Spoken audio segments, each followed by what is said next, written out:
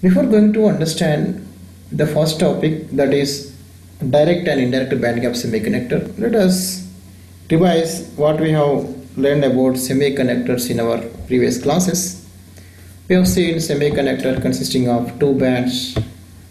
First one is called as valence band and second one is called as conduction band and the bottom of the conduction band we have represented with EC and similarly the top of the valency band we have represented with EV and there is a separation between bottom of conduction band and top of valency band which we are calling it as energy band gap.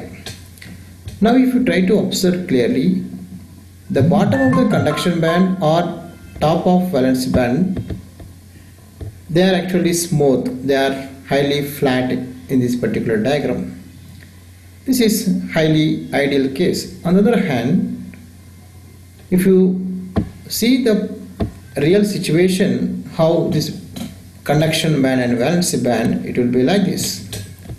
So this particular red color represent the bottom of the conduction band and this green color represents the top of the valence band they are not actually smooth or flat instead they are having some heights and depths. For example in this particular case which is a real situation in materials this is if you try to find out the bottom of the conduction band in this particular case it will be here. This is nothing but the bottom of the conduction band similarly if you try to find out the top of the valency band it will be this one. This is the lowest point for the conduction band. This is the highest point for the valence band. Now if you see these two are actually represented in EK diagram. That means we have taken on y-axis energy and x-axis we have taken wave vector. That is k. This is similar to our EK diagram if you remember our EK diagram it will be something like this. So it will be something like this. Might have seen you might have remember. Band theory of solids we have seen. This is nothing but your energy. And this is nothing but your k wave vector. The same thing I have shown here with the extended x-axis that's it. So in this particular case if you see the positions especially if you try to see the position of bottom of conduction band and the position of the bottom of sorry the top of valence band. For example this is let us say some k1 and this is some value k2 and if you see there are materials where this k1 is equal to k2 that means the bottom of the conduction band coincides with top of the valence band.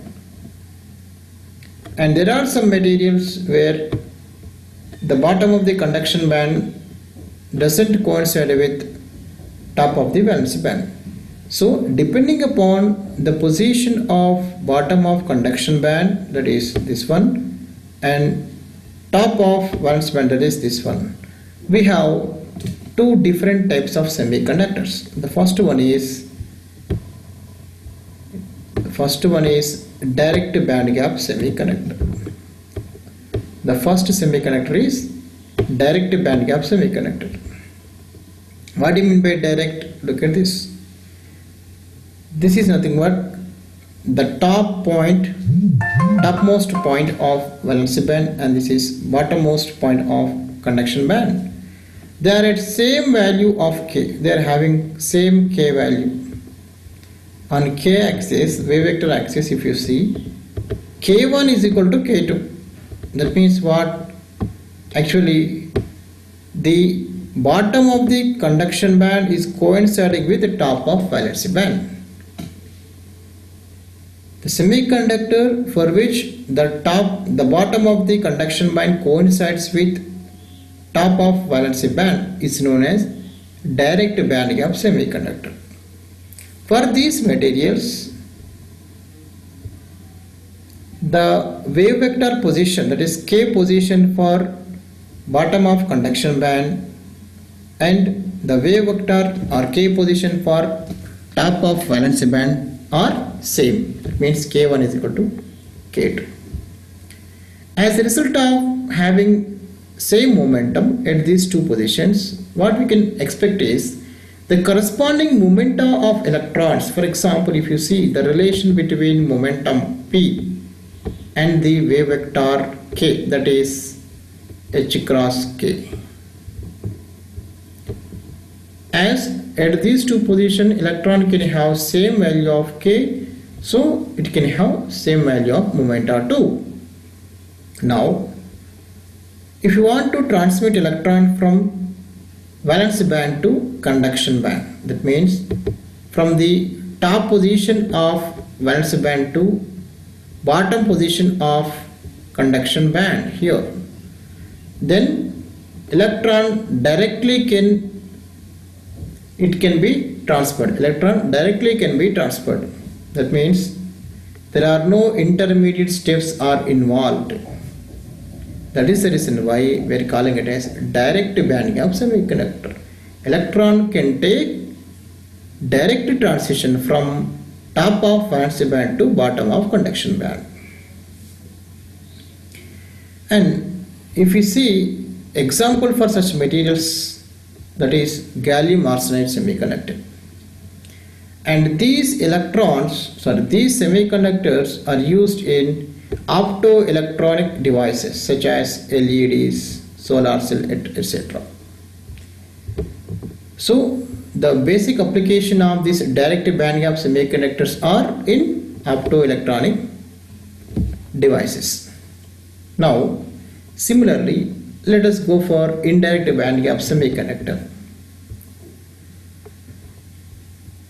Before that, we'll remove all these things. Yeah. yeah, in indirect band gap semiconductor, it is clear that the bottom of conduction band that means this one and the top of valence band that is this one they are not at same k point. They are not at same k point. That means k1 is not equal to k2 this is first observation on ek diagram. Then it implies that its corresponding momentas are, are also not equal. That means p1 not equal to P2. That means what?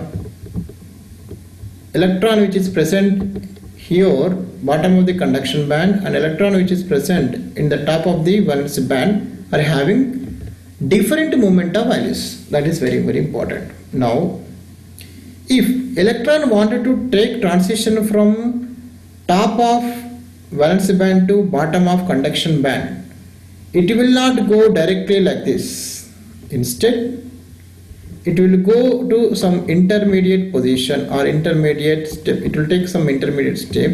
From this it will take the transition. Let me try it clearly. That means electron will go first some will take some intermediate stage or intermediate step and then it will go to the bottom of the conduction band. That means the transition of electron from top of valence band to bottom of conduction band is taking indirectly. That is the reason why this type of semiconductors are known as indirect band gap semiconductors. And if you see the examples, the well-known silicon and germanium semiconductors, which we generally use these semiconductors in electronic devices, pure electronic devices such as diodes, transistors, etc.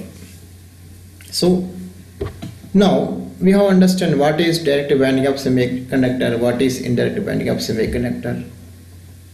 Let us put the differences between these two semiconductor in a tabular form. The first point we have seen is the definition that is Minimum of conduction band coincides with maximum of valence band in case of direct band gap semiconductor whereas it will not coincide in indirect band gap semiconductors. On the other hand, indirect band gap semiconductors we have same k values or same momentum. In indirect band gap semiconductor we have different k values and hence different momentum values. In direct band gap semiconductor the transition is direct. The transition will be indirect in case of indirect band gap semiconductors the applications of direct band gap semiconductors are optoelectronics devices such as LEDs and examples are gallium arsenide. On the other hand here, if you see, this is actually gallium arsenide, this is small s, small s, gallium arsenide, small s. And if you see the indirect band gap semiconductors are used in pure electronic devices such as diodes, examples are germanium and silicon. These are the basic definitions and understanding of direct and indirect band gap semiconductors.